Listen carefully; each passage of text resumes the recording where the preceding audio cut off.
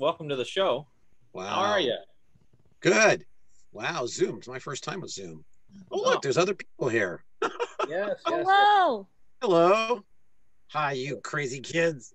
I was gonna, So, since I was just figuring this out, I was gonna, you know, greet you with my my mask. oh, I have my mask too. oh heck yeah. Yeah. Excellent. So, um, well, Sam, um, I don't know if a whole lot of people know you, so I'm going to give you a quick introduction here. Uh, Sam is a absolutely astounding urban planner and researcher and author. Uh, he is the author of the, I hope, the best-selling book Jaybangs, uh, which is basically a book on how Universal, specifically Jay Stein, really understood how to beat Disney at building like the world's best theme park and understanding you know how to actually do things in a more relevant way for today's audience. Um, now, Sam's done a lot of other things too. You wrote uh, Walt and the Promise of Progress City, which is kind of an Epcot history book, which is how you know the original Epcot, the city, was going to be planned. Uh, he's also written uh, multiple other uh, Disney and uh, Disney versus Universal or Universal versus Disney, uh, Disneyland story, I believe. And That's right. you were an urban planner and you you designed one of the the master plans is that the the city of i want to say was it pasadena or no you're from pasadena Oh no, I did. Um, uh, for a while, I was doing general, what are called general plans in California or comprehensive plans, I think, in Florida, um, and and did about a dozen of those. So, uh, city of Claremont, city of West Hollywood, city, uh, county of San Bernardino, Pasadena, a bunch of places. okay Rialto, Hilton. and now you travel around the country and you do consulting and you do lectures you're on tv every so often and you are visiting america's greatest treasures our uh, our parks uh, is that uh, is that pretty much fair to say That's right. That's right. And by writing the uh, Universal book, it got me a gig as the as their visiting scholar, which I think is just kind of funny. But hey, it got me a trip to Japan. So Yeah.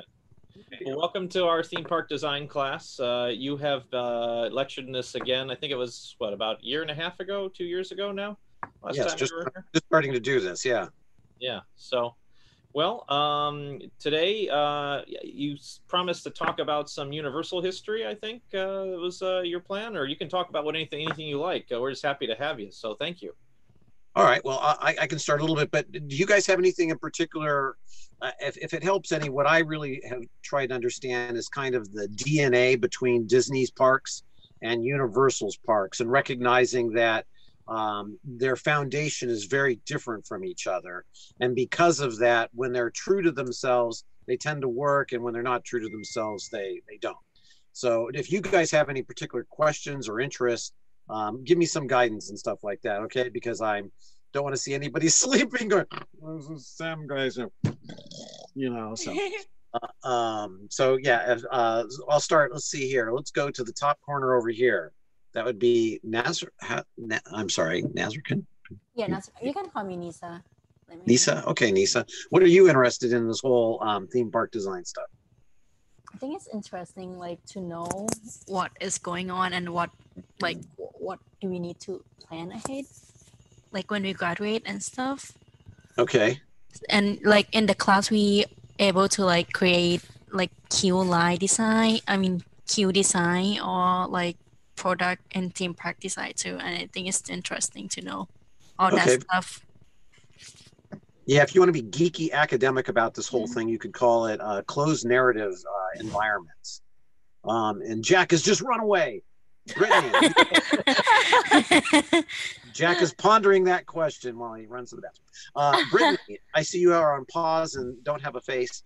Um, what, oh, what sorry, brought- my camera's not working for some reason tonight. I'm on a different computer. That's okay. We all have bad hair. Um, the uh, the tell me, except for Bill, does he have like a barber that comes in and does his Oh hair? no, I- That's I, what I I cut said. my own hair. I cut my own hair. So, yeah, it's uh, it's. I I'm can glad I do have the to sides. bring I up- can't do the back. If you would see the back, you'd realize my hair looks actually pretty awful. But uh, Yeah. it the camera only shows certain things. So. Our president has the same thing. So, uh, Brittany, oh.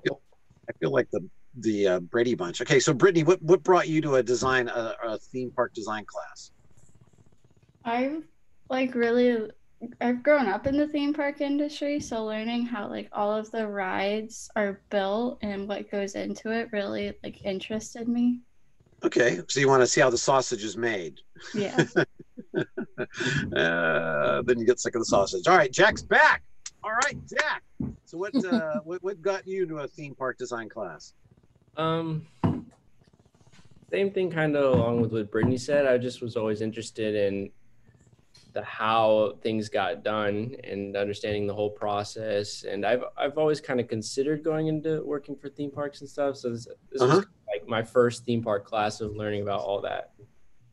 Okay, very cool. So so there seems to be a, a theme which is you're just a fan, but you're a fanboy, but you want to be everybody's a fanboy, but you want to be more. There's something there's something that's intellectually sparking something in you that goes, there's something more to than this than just standing in front of a facade of a building. And what is that? What's what's behind it so far? That's good. That's good. That's uh, that and it's that's that kind of inquisitiveness is is is really fundamental to this particular business.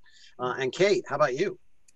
Okay, well, I'm just gonna come right out and be honest that I'm a Disney fan. I'm I'm Team What? Disney, but I always knew I wanted to do something really creative. Um, I was thinking for a long time of doing like live entertainment inside the parks, like um, Okay.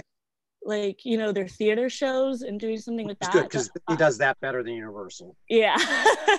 but I also just really was so fascinated with how they could take worlds that people would only see in films or, you know, even like cartoon films and Yeah. bring them to life so that you really feel like they're in them. And I think that that is just something so special that I would love to learn how to create. So Okay. that's why I took this class.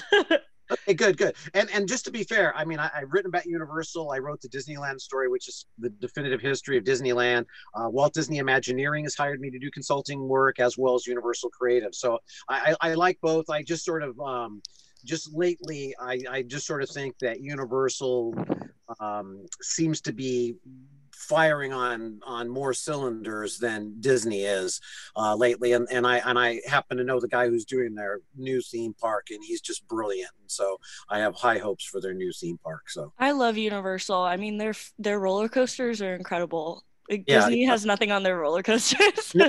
And you hit on something. We'll talk a little bit about the histories of them, and that is, um, let's talk about live shows. For instance, there has always been a definitive difference between the live shows between Universal and Disney. First of all, Disney itself has always had a theatrical background. They spend a lot of money on their shows.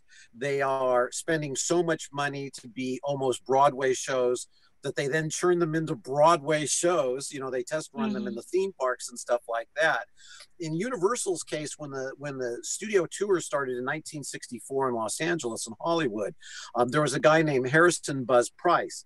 Buzz Price worked for Walt Disney and found the location of both Disneyland, Walt Disney World, uh, Tokyo Disneyland. Um, did over 150 uh, financial studies for Walt Disney as a consultant. And he also, because Walt really liked the guys over at Universal, he liked uh, Lew Wasserman, he liked uh, Jules Stein, um, the guys who ran Universal. He's really actually best friends with this guy named uh, Jules Stein. Um, uh, he lent Buzz out to him and said, "Hey, Buzz is your guy. Buzz will help you." And Buzz Price basically wrote what the tour for uh, Universal should be. And when he did the studies for that, he talked about shows, and he said that there is no way that Universal could ever compete with Walt Disney when it comes to live shows. That Walt Disney will always do better and better and invest the money in those shows. So instead of trying to fight it and to try to compete against Disney, Universal decided what we'll do is we'll involve audience members in all of our shows. So their shows were mostly like, well, how did you make a TV show? And we're going to have you jump in this thing of water. Very, you know, MGM Studios kind of stuff, um, or like the uh, uh, what was it, the uh, uh, Indiana Jones show in Florida. You remember, you guys were all in Florida, where they brought the audience members on. That's a Mhm. very universal thing. That's not a Disney thing at all. Disney never brought because Disney wanted to present very professional shows. Universal had fun with the idea that people will forgive you for the amount of money you spent on producing the show because their friends are kind of funny being stuffed into those situations. And that was always a consistent with Universal shows. We're going to involve audience members, they're going to be part of the theatrical production, we're going to integrate them in the show, we're going to let it fly. Um, and Disney was always, we're going to give you Broadway quality shows. And that was a big difference between the two. Another thing that Universal did that was different than Disney is well, if we can't compete on, let's call it quality of the show, um, we'll just blow things up in front of people. We'll put half, in, we'll have fires. Um, and that's how uh, the Conan show in Hollywood came. It was the first time that somebody combined all these special effects in a theme park show. And in, they, in that case, Universal created the stunt spectacular that you see everywhere. And that was a very universal thing. They did one themed after Miami Vice, for instance. Uh, they still have one after the movie Westworld, uh, Westworld uh, Waterworld. More people have seen the Waterworld live show than have ever seen the movie Waterworld. And a lot of people don't even know there was a movie called Waterworld. They just they just see these shows. In Japan, it's one of the most uh, uh, biggest shows there. And in Hollywood, hey David, it's about time you got on here. All right. So, um, so in the live entertainment, there is a distinct difference between the two. And if you think about it, Universal has nice parades, but Disney has fabulous parades. Um, Disney has wonderful Broadway like shows. Universal had Beetlejuice, you know, so um, Uh, there, there's a difference that's there, and and that also kind of goes with the genesis of the two parks. I mean, in Disney's case, Walt Disney you know, as the story goes, wanted something for families to do, and he wanted to take his daughters who were on the merry-go-round, and he wanted to go on the merry-go-round with them, and wanted to hang out with them and have those experiences. I mean, a lot of that is part of the myth of Disneyland, but the reality of it is, in 1948, the Walt Disney Studios was in really, really big financial trouble, and Walt Disney was just trying to figure out something that he could do so that he could keep these artists that he really, really liked somehow or other employed because the movies business was just tanking on him by 1948. And he started thinking of this. Well, I really liked amusement parks. I've always been fascinated by amusement parks. Let me start to think, and I even was going to put one next to my studio in Burbank, but maybe that's what I should do. Maybe I can get into the amusement park business uh, instead of the movie business and started hunting around the idea for um, what, what became Disneyland, but originally was a bunch of trains driving around the country where you put a nickel in a machine and a little rocking chair would go and Granny from one of the movies would start talking to you, you know, that kind of thing. Um, a lot of people don't know that. So Universal, on the other hand, was quite different. Universal was a company called MCA, Music Company of America, which was by the 50s and the 60s truly the most powerful entertainment company in the entire world. Um, if you were a musician, you probably had MCA as your agent. If you were a television network, you probably had about a third of your programming to almost half of your programming coming from one studio called Revue Studios that was owned by MCA. MCA was making all the television shows in the 50s and the 60s. Um, the Addams Family, the Munsters, I mean, all this stuff came out of out of that. That's becoming a party now. Um, hi, David. Welcome. Why are you in this class, David? David? Come on, David. Wake up. this is your guest speaker. All right. Blake, how about you? Why are you in this class? Actually, I think they're coming in from the other class. Actually, sir, I'm in from uh, a different class. I just happened to pop in, and uh, I heard about oh. you earlier today. My one o'clock. I, I, teach two different theme park classes, and I, I, I, offered for a couple extra students to come in uh, from the earlier class. Uh, oh, okay, very good. All right, well then, hi everybody. Sorry about putting you on the spot like that. this is fun. I feel like the the Muppets uh, video when they did Bohemian Rhapsody. oh, that's a good video. Yeah. Yeah. I don't know if you, if guys haven't seen it, really go check that one out. so it, it, in Universal's case, Universal, it was a much different culture. Um, in Universal's case, they were they were business was booming for them. Uh, MCA bought Universal Studios movie lot just so they could make television shows because they needed the space to do that. Then they ultimately brought a record company called Decca, which owned the Universal Movie Company. Uh, still continue to churn out the the TV hits and everything. And and in MCA the culture of the company, which I get into quite a bit in Jaybangs, was watch the pennies, the dollars will take care of themselves. And it was a very and and then the way that everybody worked in the company because they were mostly talent agents um, and Hollywood people, they were a very different corporate culture. They dressed all in identical black suits black ties, white shirts. They look kind of like the men in black, as um, as they as they would say, dress British, think Yiddish um, and just be really, uh, which is, you know, watch the pennies, the dollars will take care of themselves. So a guy um, that uh, named Al Durskin, who was the Al Dorskind, who was the uh, financial guy for MCA, looked at every line item on the MCA movie lot, the Universal movie lot. What he noticed, one of the things he noticed was that the um, is that the commissary was losing money. and, and, he thought, how could a commissary lose money? I, I got to make money. So he was pondering this while sitting at the farmer's market in Los Angeles. And one day noticed that a bus was pulling up from the Gray Line tour.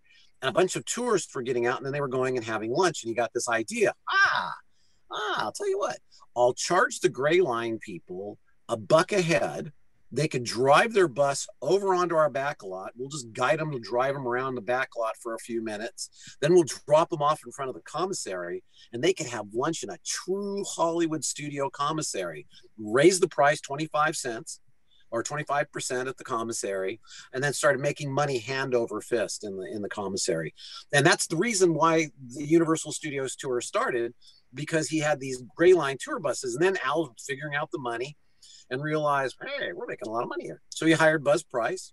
Buzz Price did this study and said, well, you know, if you did a tram and you did this and you did that and all this kind of stuff, you could have a pretty profitable tour. And I, and I think I could predict that you'll you'll have like three years into it, you'll have almost a million people a year coming to it. It'd be very complimentary to Disneyland because the world was coming to Disneyland but the people wanted to go to Hollywood. And at the time, Hollywood was not a very friendly place. So it was a chance for people to experience Hollywood on a real back lot at a real movie studio. And they made a bunch of money. So in 64, they did this as a test run. They came up with the idea of the trams. The idea of the tram was quite simply because where they wanted to have people load on the tour was up on the hill and the back lots on the bottom of the valley and they just needed to get people up and down. So they did a test run. They bought these little van these trams. The tram was taking a bunch of secretaries up the hill from mca and this was 1964 and as you can imagine secretaries in the hollywood area were wearing the really spiky heels and the really pointy shoes. And then the tram broke and they had to walk back to their studio. So they immediately changed the engines out to much bigger trams. They didn't really announce the tour was going to open in 64 they did it really as a test run but the test was very successful. By the next year um, the they continued on and and the guy who was running the thing uh, barry upson was really quite pleased. Lew Wasserman, however, the guy who was running MCA at the time, thought, hmm, if this is doing this well, this could actually do a lot better. Let's invest some money in it and let's get the right guy who knew how to kick some ass. And that's when they hired Jay Stein, who was working already in the back lot because there was starting to be a common conflict. You see, the people who were making television and movies really just did not like buses driving through the back lot the entire time and they were getting very frustrated and they were doing everything they could to thwart the tour by you know having the buses go around things way around things not see anything. Um, and, and then when the tram started it was the same sort of thing. So they needed to get somebody who was friendly to the production people and also could get the tour happening. And jay stein was a 26 year old guy who was kind of on the make there. He started in the mailroom, and at 26 years old, he was offered the job of being a vice president of MCA, Music Corporation of America, the most powerful entertainment company in the entire universe at the age of 26 to run their theme park. He had to say yes. His dad suggested it was a good idea. So, and then from there, Jay just kind of went on and created what we what became the uh, Universal Studios tour. Oh, good, my heater is working. Yay! Um, I'm for those who just joined us and everything. I I live full time in an Airstream Interstate. It's a Mercedes van, and I'm right hmm. now in Natural Falls State Park in Oklahoma because it's one of the very few states that actually has state parks open because of the coronavirus. And uh, and I've been having heater issues, and the fact that it just turned on is is very exciting. uh, it's good because it's going to be freaking cold out here. All right, so I will uh, stop for a moment. Questions so far about anything? You should Uh, have lots of questions because you all had to read Buzz Price's book. So Oh yeah, and and I and Buzzwood's an absolutely amazing man. I mean, generous in time, and really Ep- the the, the, the first Epcot book is because of Buzz. Uh, he he got me the inside information because he was one of about five people working on the project. He got me a lot of information that allowed me to come up with what is apparently the uh, most realistic description of what Walt Disney had as, in his mind for Epcot. So I thought I saw a question from Blake. Um, I did, but actually, uh, Kate looks like she had a question, so I was gonna. let- Okay, eight. Oh, um, I was just wondering, like, how he got that job at 26. Like, what was?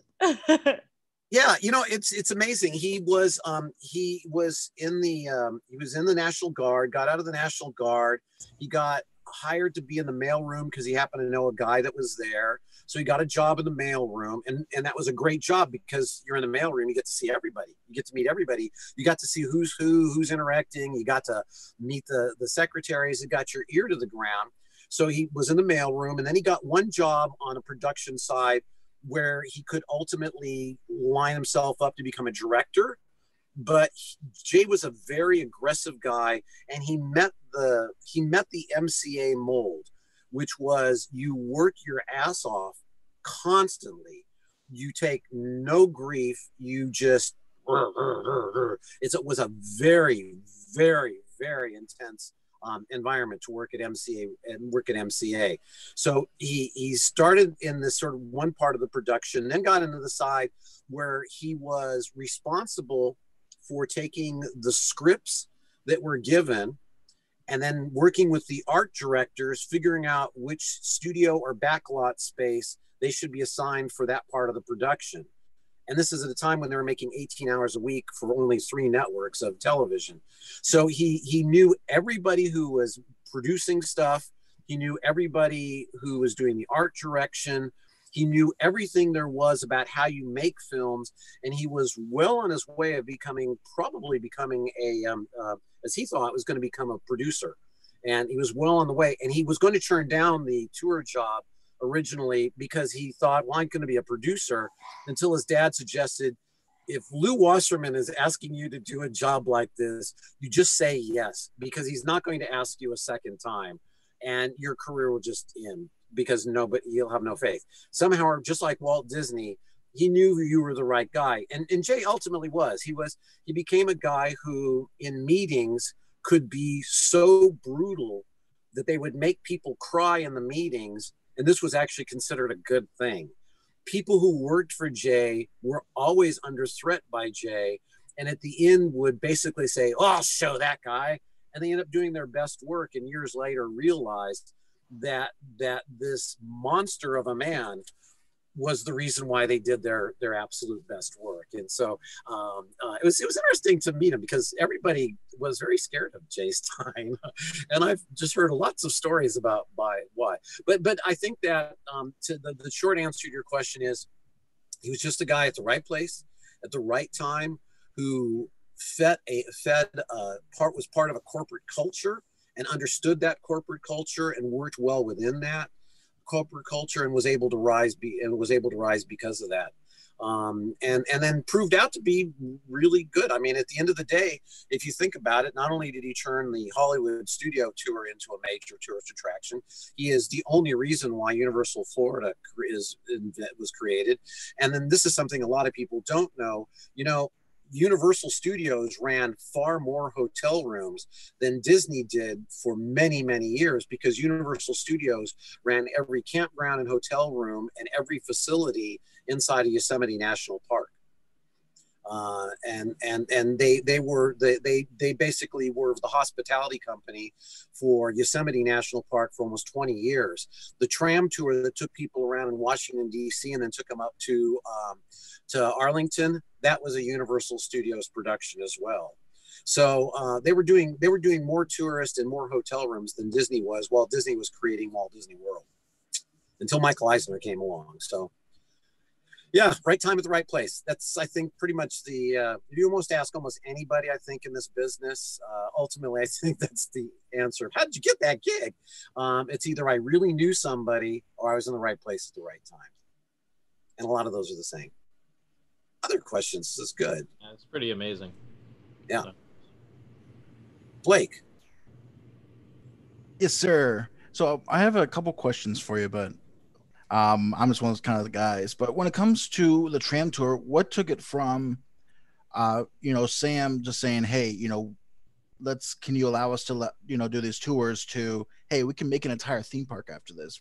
Was there like a conversation, or does happen to be some investors saying, "You know what?" Or Oh yeah, no, no, it's it's like everything. It's just um, well, we have to do this now. Um, and and in this case, when the tour first started in 64, 65, 66, right around that time, um, the uh, the tour guides were like ultra stars. In fact, many of them became stars or directors. Um, they, it was it was a great way of getting in in Hollywood because you know you had a lot of famous people that go on the tours. Uh, you'd get to meet a lot of people because you were backstage. And it, the way the tour was described to me in the original scripts, and I have the original scripts for the tour, is is imagine if you could hop the fence of the busiest back lot in the entire world and go anywhere that you want and see anything that you could see.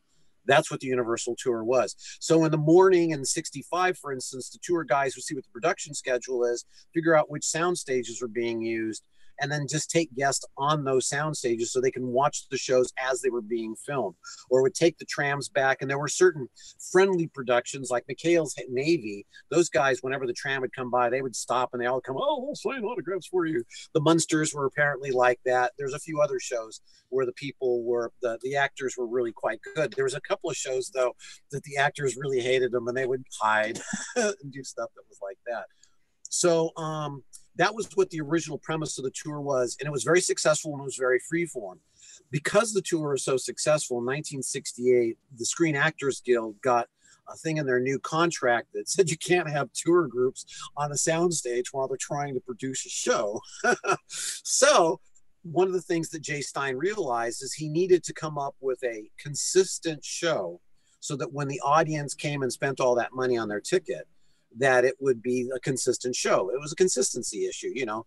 It was pretty happenstance. Some days you would go in and the tour would last four hours.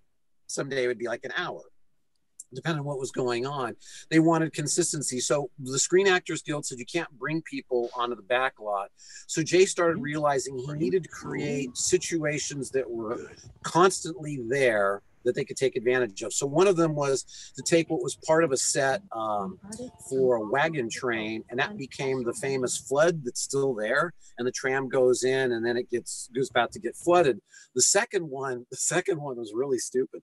The second one was a, this the the tram would pull up and the driver would hit like a little button from a garage door opener and on a cable this gorilla would slide down along the side of the tram and then go behind the bush and then he'd press it again and it would get towed back.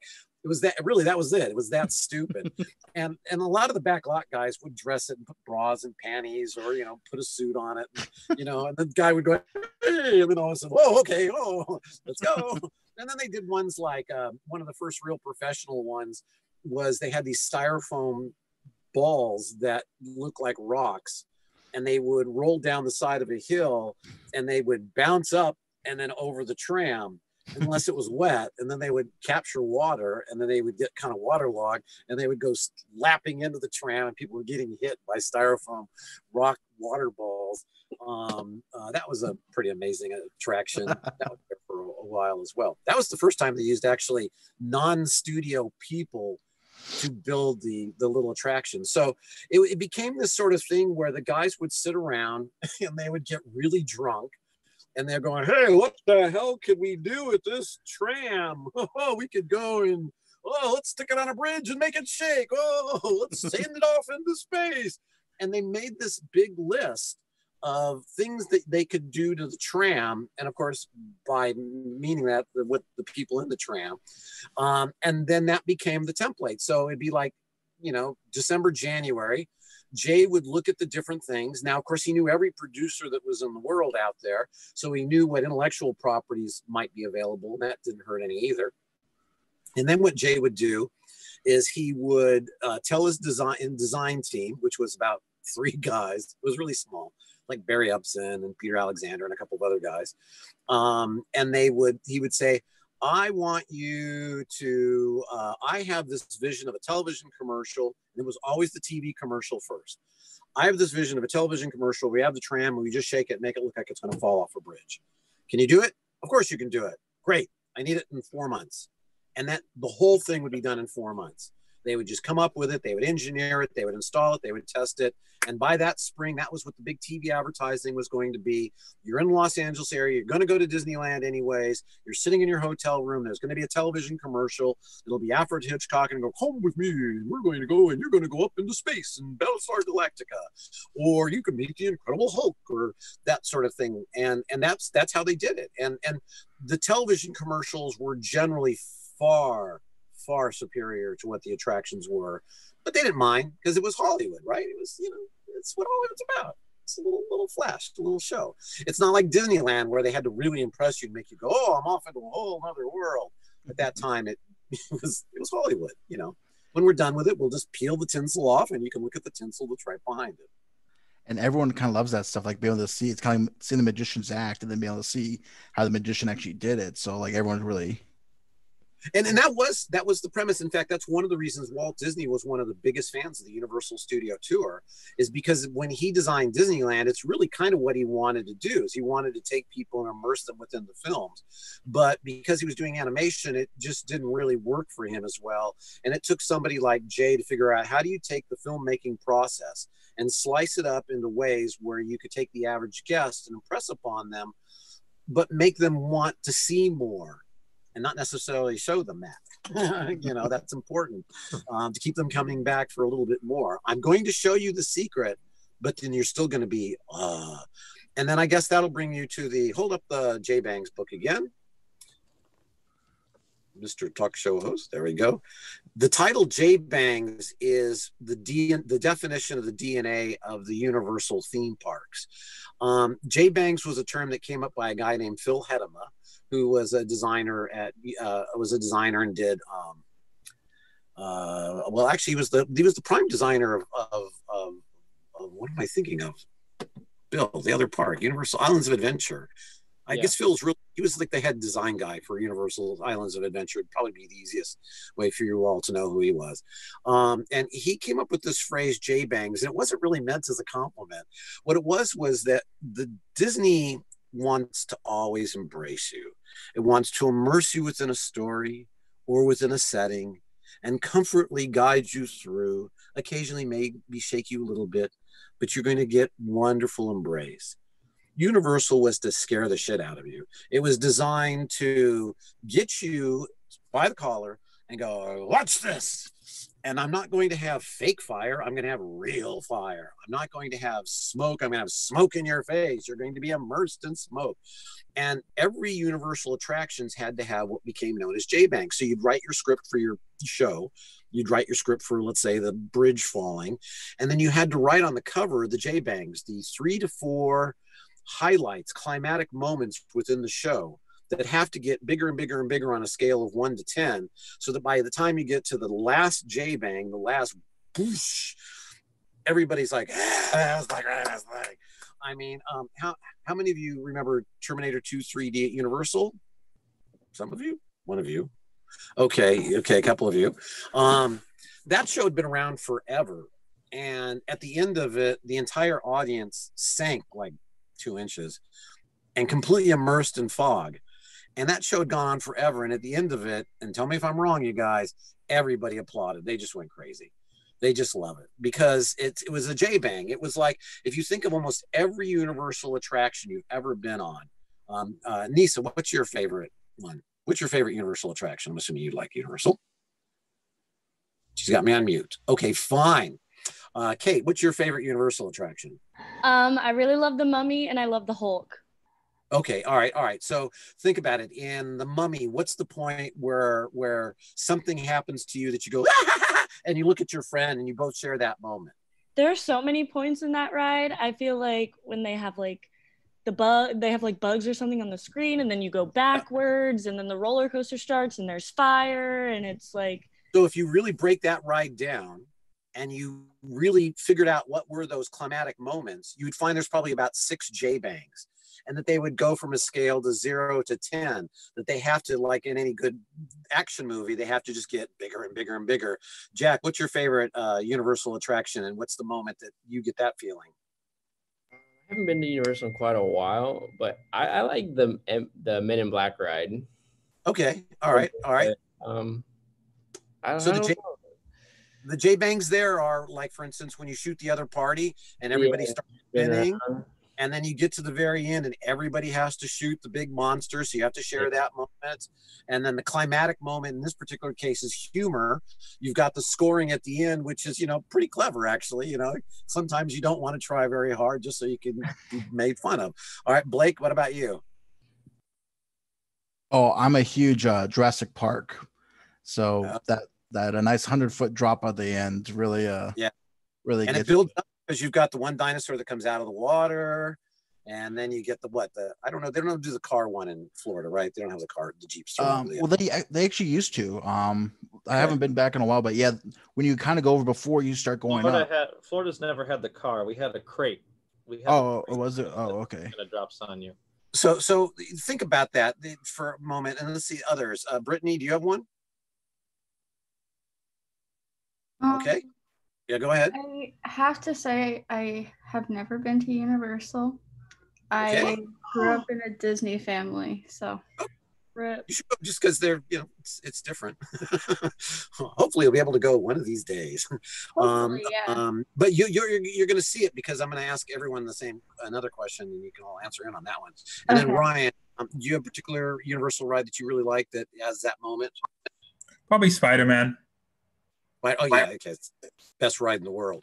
Um, yeah. And there's a lot. There's a lot of moments in Spider-Man that that have that. Right. You know, when the uh, um, the fire, just when the pumpkin goes, and you're like blasted with real fire. You know, it's not like fake little screen fire. You can feel the heat. That sort of thing. And then Nisa, again, do you did you have one? Oh, she's muted.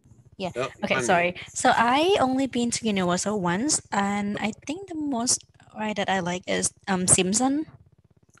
Okay. Okay. It's so it's Oh, really cute. Yeah.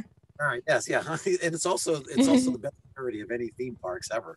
Yeah. So think about this for a moment. Every Universal ride, you can start to you can start to figure out these Jaybangs. Now think about Disney rides, and in virtually every Disney ride, unless it's trying to be a copy of a Universal ride, they don't have that sort of thing. You don't have big climatic moments. Now, uh, I'm a Disneyland guy, so I would say, and it's always been my argument that the Indiana Jones ride was always designed to be a universal ride. It works like a universal ride. It has Jaybangs throughout it, and it was built at a time when it was Disney's Imagineering was trying to show that you may have come up with Islands of Adventure, but um, um, but we we can do the same sort of thing. Um, but but if you think about every other Disney ride. They don't really have those moments. I mean, the Expedition Everest sort of does, but it's ultimately a roller coaster.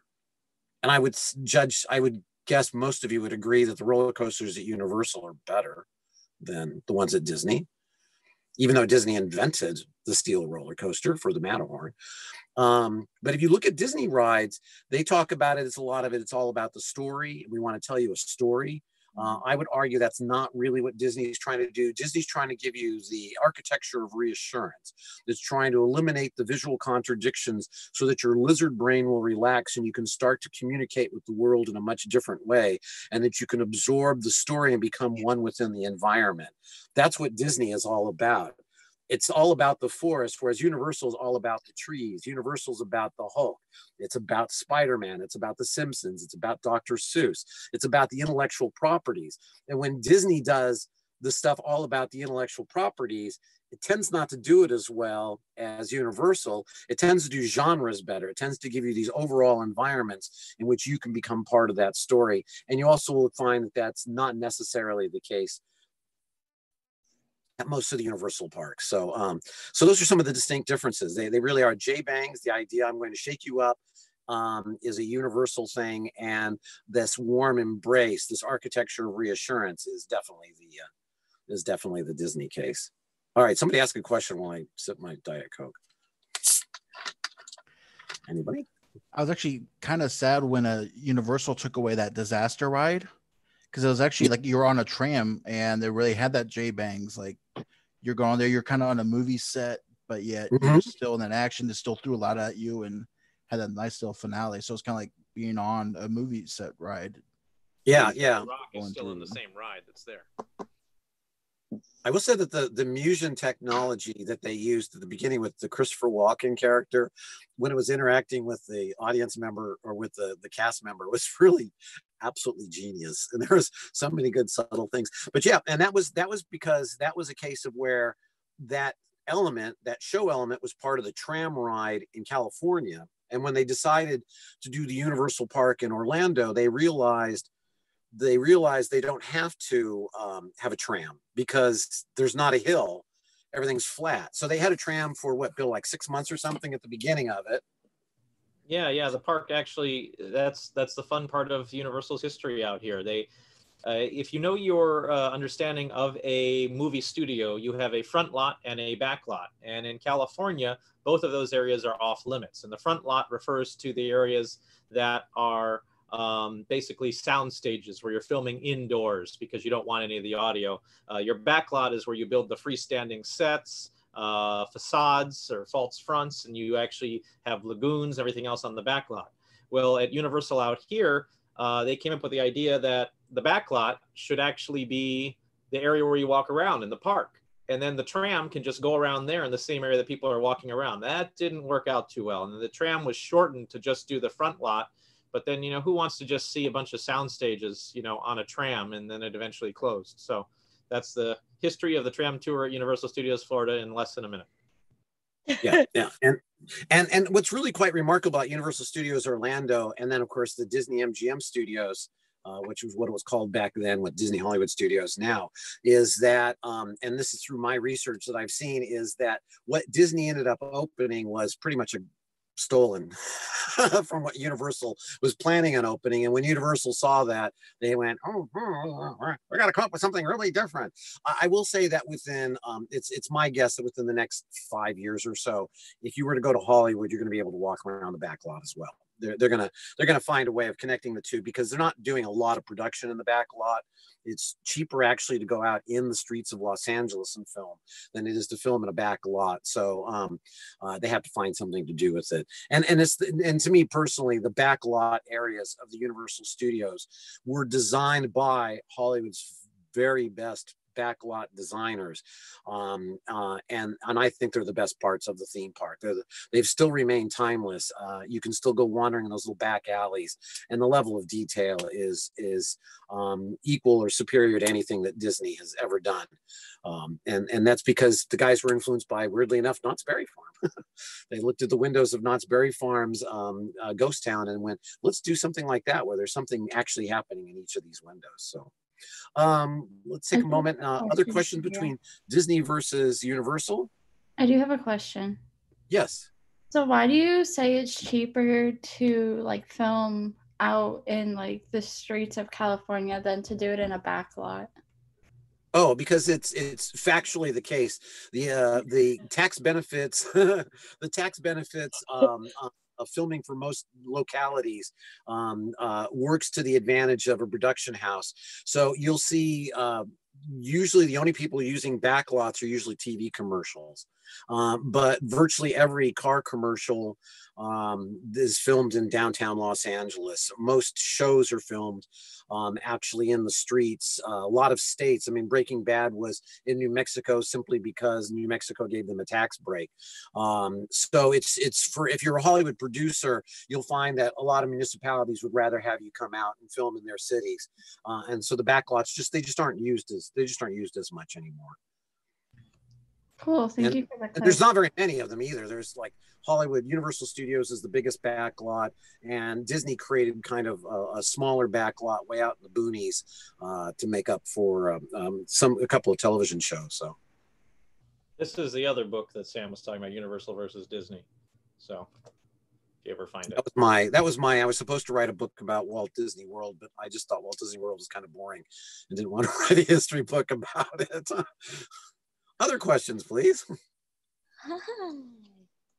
No, don't get me wrong on this this uh the the Hold boring on, thing. hold on. Kate has her puppy. Hold on. Hello.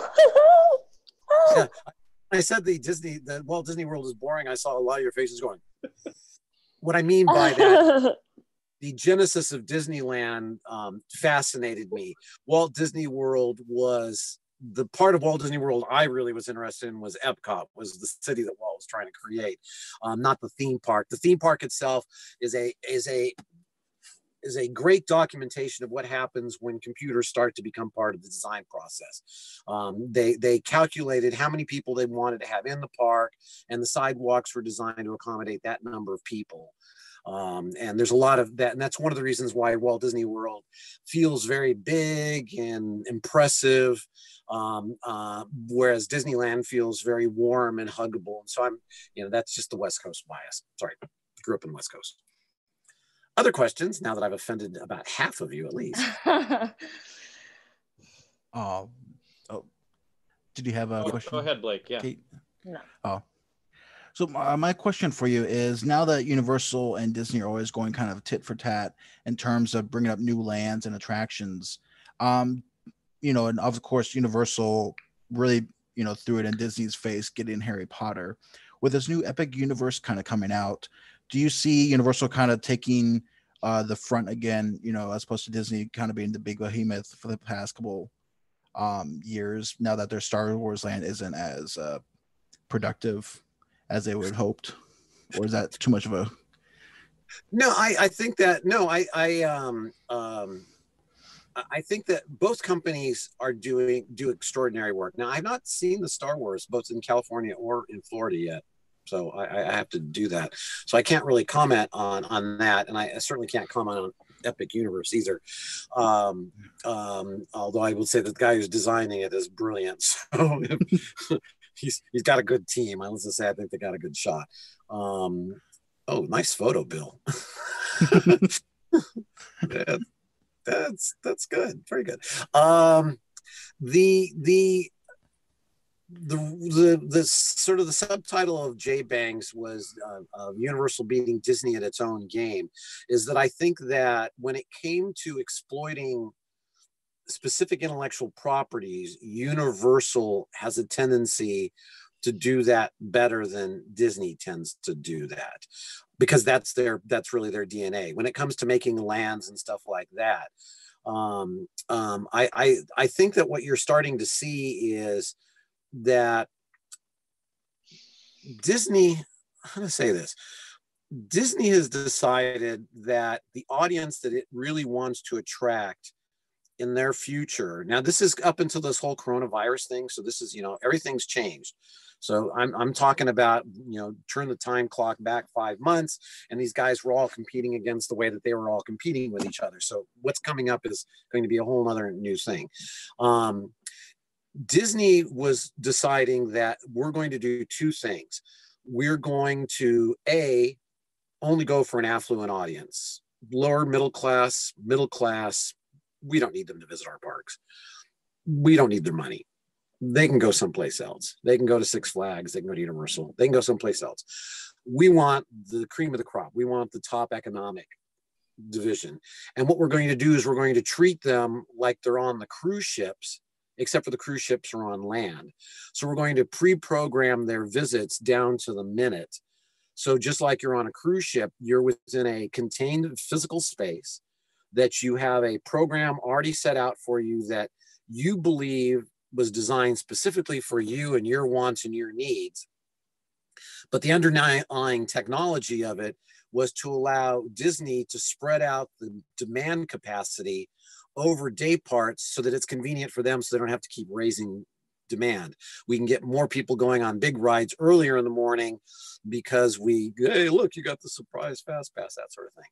So the idea is to do the cruise ship type experience, but doing it on land to a much more affluent audience that's worth reasonably wanting to pay a premium. So that's where I think Disney was going with their company. Um, Universal, once they got bought by Comcast and the, the, crew who's running the theme parks at Universal, hi.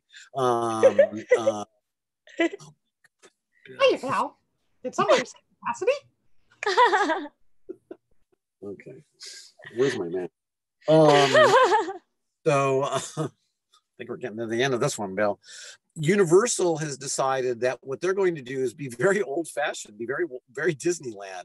They learned that with Harry Potter because when they got the Harry Potter thing, they, they were just like, you know, there were GE owned them and GE didn't really care. And they gave Warner and JK Rowling just the most enjoyable contract ever. And part of that was, is that the movie studio guys had to design the theme park. So what they did is they went back, you know, turned it all the way back to Disneyland, where it was art directors from movie, movie studios designing theme park lands that made Disneyland special, as opposed to urban planners designing these theme park areas.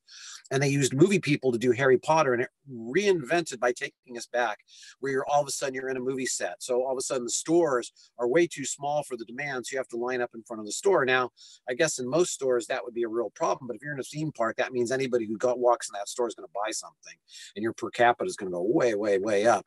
And and universal learned the lesson of it the old walt disney lesson which is its capacity that you want to keep filling the glass. And when you've got a full show we're just going to add another ride. Did you notice that they added the terminator terminator um, the transformers pretty quick while they were doing Harry Potter just to add another 1,800 people an hour that they could shove into the park and give them something to do.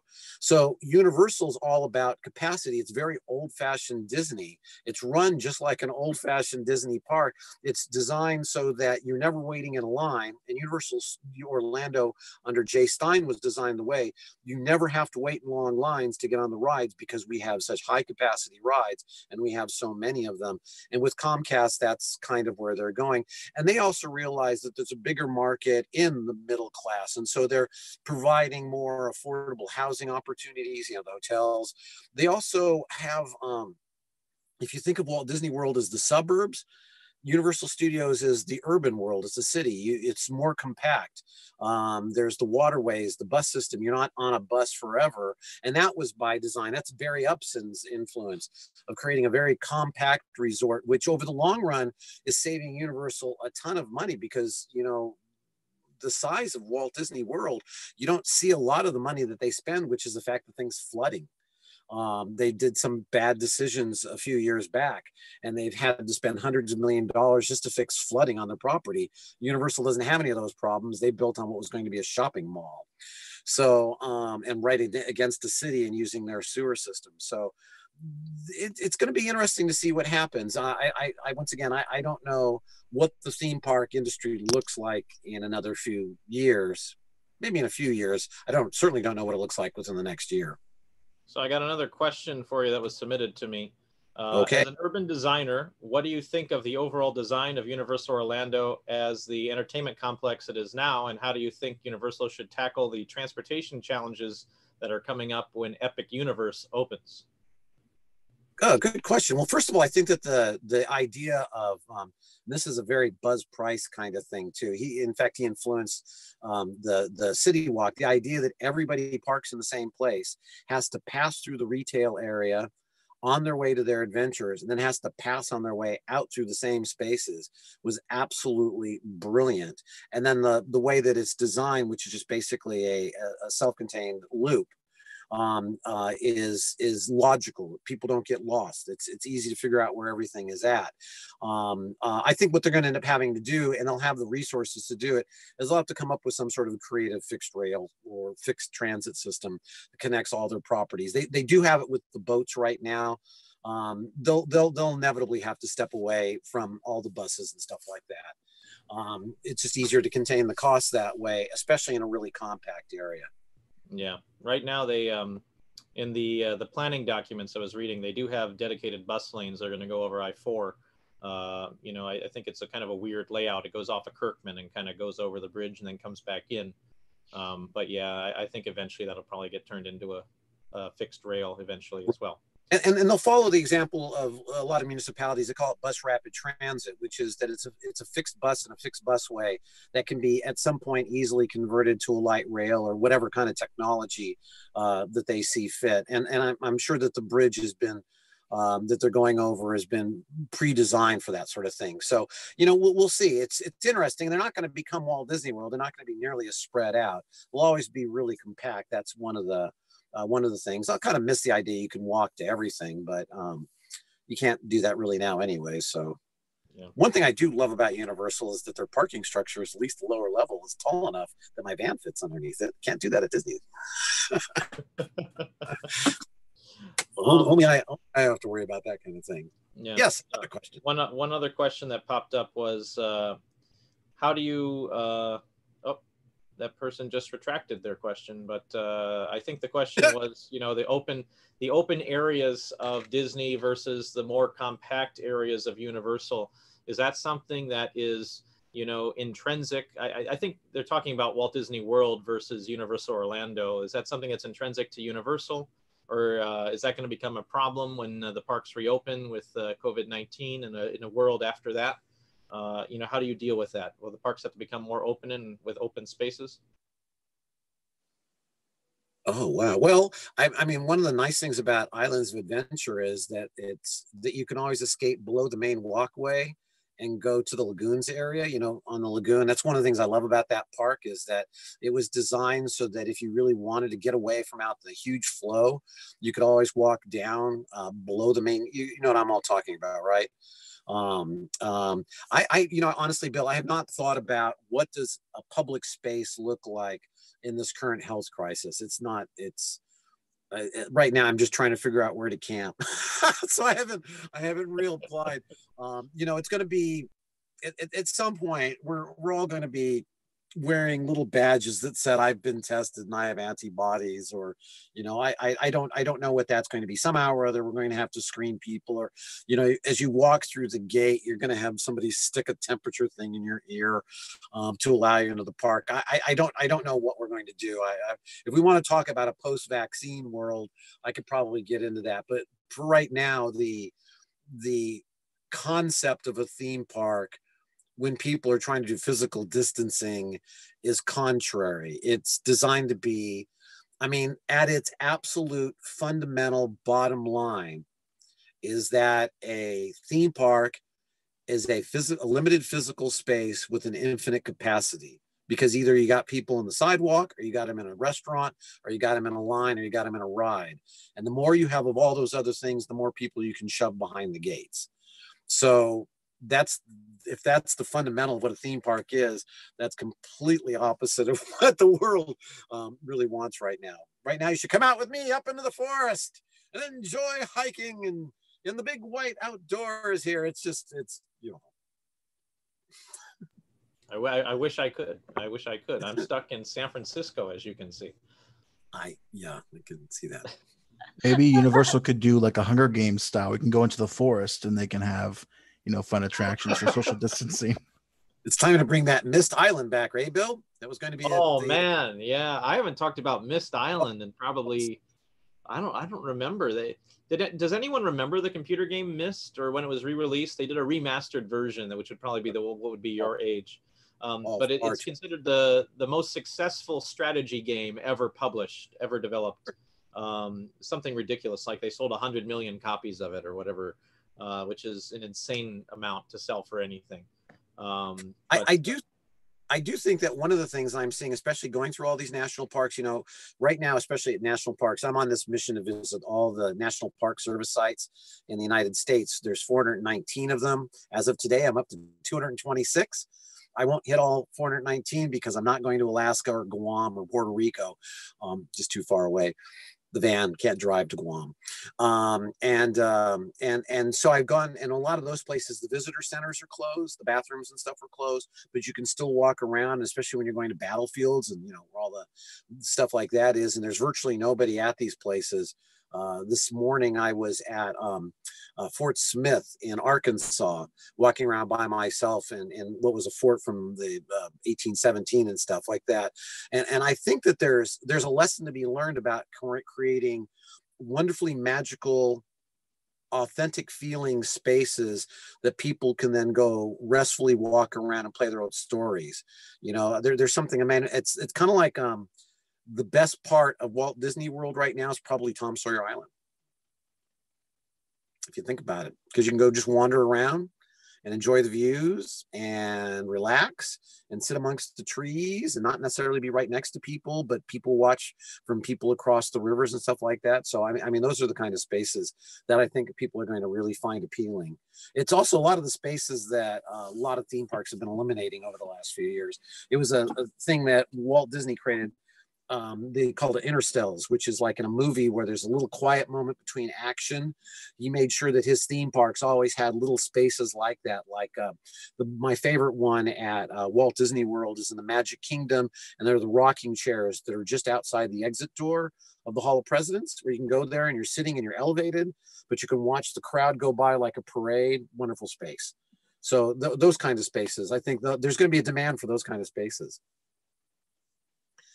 He's bringing in the band now. Uh, any other questions or comments or answers? Have I been entertaining? Point out those spaces are in a pattern language. Another good book.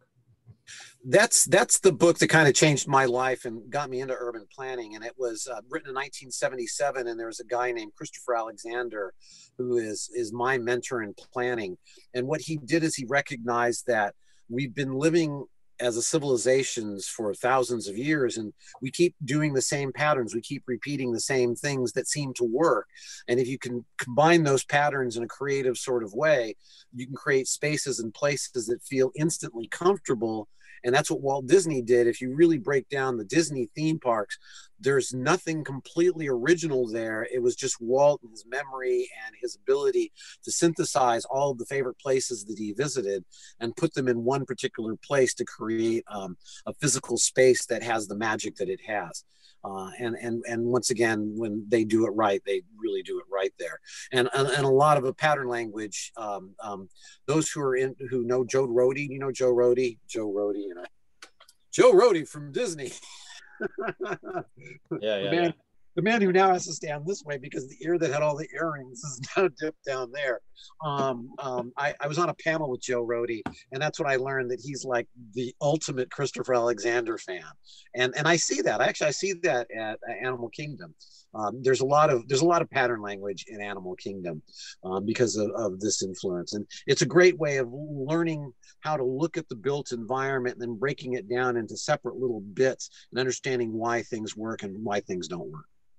So it's a very good book. It's- I my my thing was my first book was originally going to be about Christopher Alexander and a pattern language until I realized Walt Disney was practicing exactly the same thing, using empirical data to create places and spaces that will charm people. Yes. Other questions, comments, answers? He Um, said, no, so you go ahead. Sorry, I have a question. Um, so I feel like in Disney, a lot of the guests that go to Disney are going there for like the IP.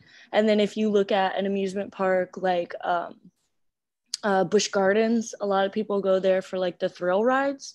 Yes. Um, so since Universal has like a good combination of thrill rides and IP, what do you think attracts like your guests more? Like, do more people go there for like Harry Potter and Marvel, or do you think more people go there for the roller coasters and I think that case of Disney, I think that the reason that people go to Disney parks, my thesis is, is they go there for the reassurance that no matter what's going on in their world or in their life, that everything's working at Disney. Everybody's friendly, everybody's nice, everything is clean. There's never any trash. All the light bulbs are working. There's no light bulbs that are burnt out. That's why Disney fans, when they see a little thing that's kind of wrong or a little bit of a mess, they just go bonkers and they would never do that anywhere else. But i mean the disneyland folks if they see a light bulb burnt out on main street they will write city hall and tell them this light bulb is burnt out.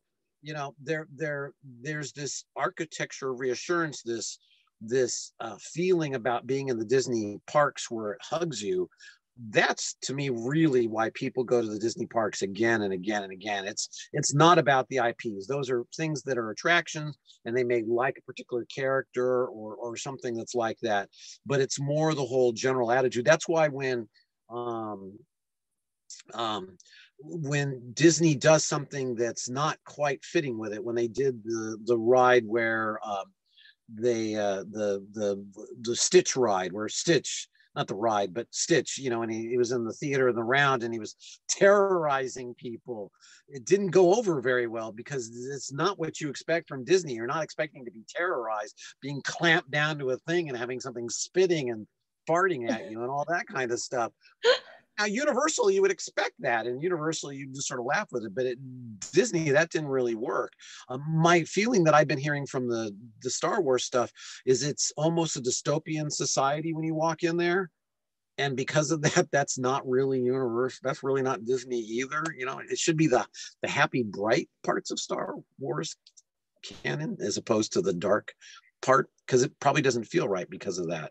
So I, yeah, I, I and, and that's one of the reasons why I think that Universal kind of has an edge right now because they have been able to figure out with, especially recently, they've been able to figure out how to. Um, they've been able to figure out how to kind of appeal to both sides.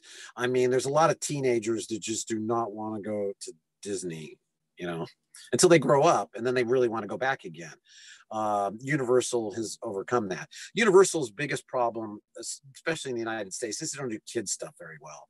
If you're under 10, you're going, there's there's not much to do. Now I, I went to Universal Studios Japan and worked with their creative team for a while. And and the stuff that they do in Japan for the children stuff, their their Peanuts Land, the Hello Kitty boutique is just amazing. Um, uh, the Muppet Babies area and stuff like that. They, in Japan, they actually have gotten the child stuff done pretty well. So um, I, I was really quite impressed with that.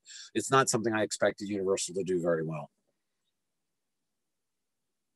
Do you think as a urban planner um, with Universal that one of their kind of uh, best things, but also worst things is the fact that they're always able to put in uh, new products, you know, Transformers and Spider Man that are really engaging. But after a while, you know, if it gets too old, they have to supplement it with something else. And mm-hmm. because of our times where people sometimes, you know, will get over things very quickly, maybe like Avatar or other um, IP. Do you think that would be ever a problem with Universal as you know having too much time between you know new ips or well in universal's case that was by design. You see up until up until really disney buying indiana jones or the, the lucasfilms contracts Lucasfilm, uh, nobody paid for IPs. They got them for free. they had to pay like the actors, you know, the, the face actors and stuff as part of the deal and stuff like that.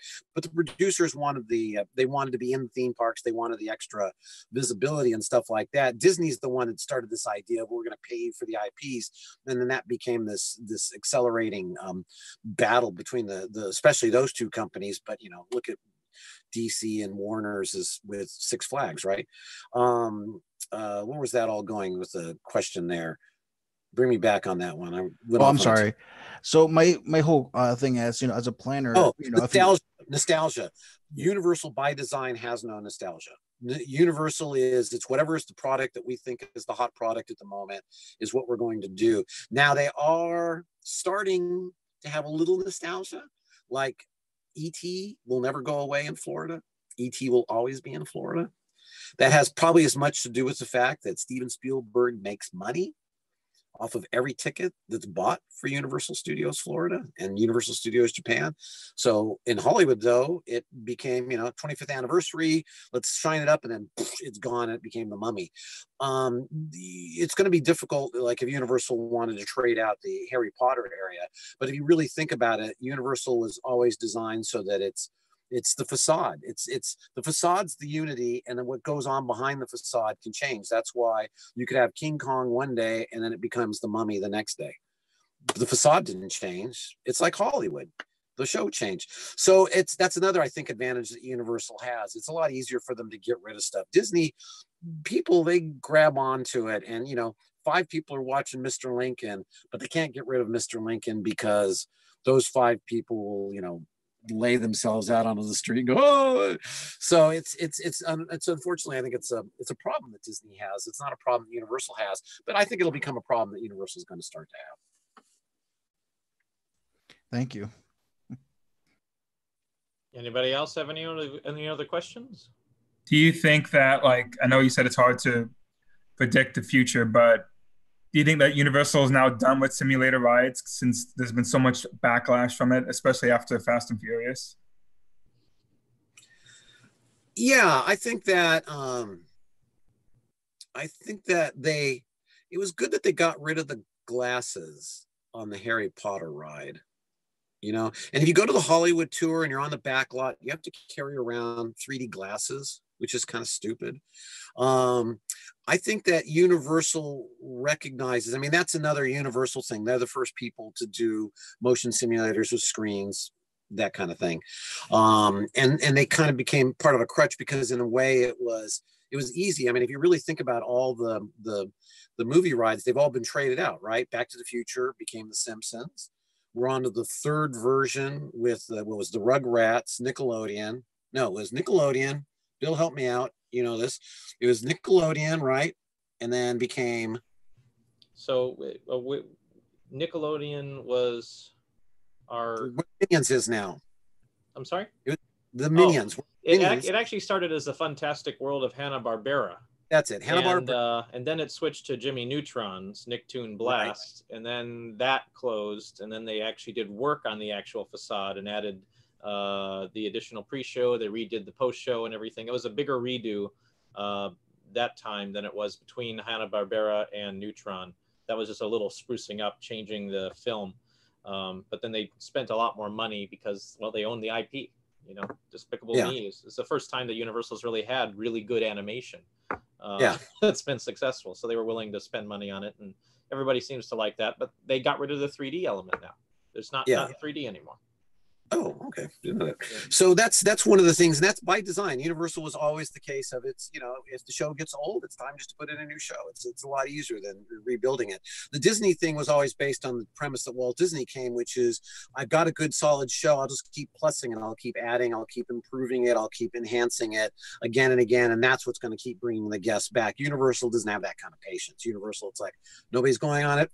It's out of here, unless unless they don't have anything to replace it with and then then it sort of lingers for a little bit longer. but Well, you know, that do, show that's next to Potter that nothing is there. yeah, yeah. Yeah. But it's a lot of good real estate. yeah. this is- yeah. Anything else before I put you all to sleep? Oh, there's one more question that somebody uh, posted uh, was uh, what makes Disneyland feel so cozy, and where can you really see that? Where is it apparent? Universal's parks. Um, at Universal, I would say that it would be um, uh, well, first of all, it's the, the metrics of the street, the size, the width of the streets, the side of the sidewalks, the use of forced perspective is much more intimate. Everything's a lot lower scale. I mean, the castle's less than a half the size, you know, 77 feet in California and 198 feet. Not that's not that tall. I boy, see, it's, I, it's been a while since I've been doing the theme park thing. So um, whatever it is, the everything at Disney is much smaller, much more compact. It's why it also feels really crowded at times as well, too, um, depending on what's going on. Um, and that's what makes it cozy. At Universal, I would say it would be the uh, uh, the Central Park area at Universal Studios Hollywood, uh, Florida. Uh, I would say if you got into the back alleys of the New York street set areas and those back alley areas, they have that kind of intimacy. Um, I would say at Islands Adventure, it would be go below the main walkway into the lagoon area. So, you know, go out towards the water underneath the Hulk, go out um, in lagoon and go back where the, where the, uh, bilge bar raft thing is. You can walk down there. You used to be able to walk down in front of the Jurassic Park thing, but I guess that's where the roller coaster is going, right? Go Yeah, roller coasters in front. water there. Yeah, and and where there's that park was designed, and my favorite one is the the area where Seuss Landing is, and you go down towards the water.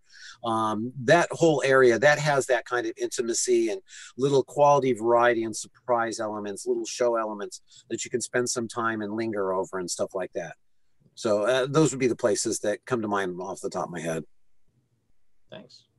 Any other questions, guys? You all doing good? Do you like this uh, remote class thing, or is it more fun to be in a classroom with each other? It's kind of nice. Yeah, I like this. I feel like we're all a little bit more relaxed because when you're in class, you're like sitting Yeah. kind of. Yeah. But I feel like on this, like, and Professor Z has been doing like his goofy Muppets and stuff. so it's a little more fun. I have to try to keep it interesting. I'm Um, worried the- too. the disappointing thing about moving everything online is that uh, we were working kind of as um, everybody had a partner or uh, two partners, uh, and uh, they were working on designing a dark ride, and that's difficult to do, you know, when you're farther away. So we, Yeah. we took away those pieces, and now they're kind of being done individually. Some of them are just based on examples and submitting assignments, so it you don't get the full experience of actually building something as much.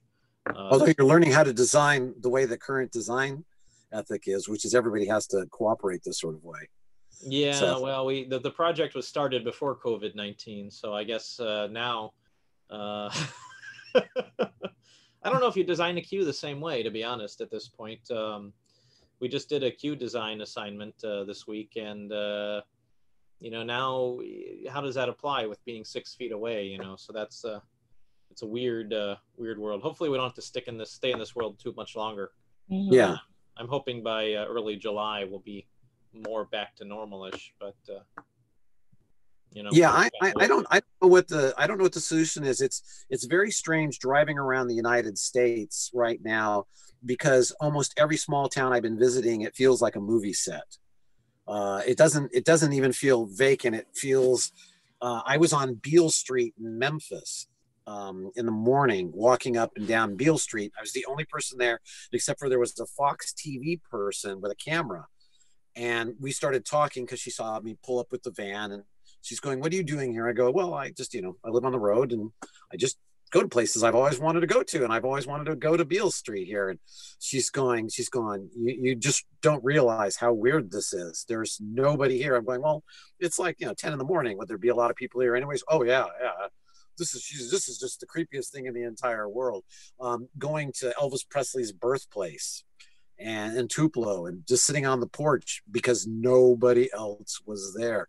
Um, but I will say, if you're wanting to do urban design and if you do go out and do your little walk and stuff for exercise, it's actually a good time to see what physical space looks like without people interacting within the physical space. Because a lot of designers design physical spaces without thinking about the fact that people are using them.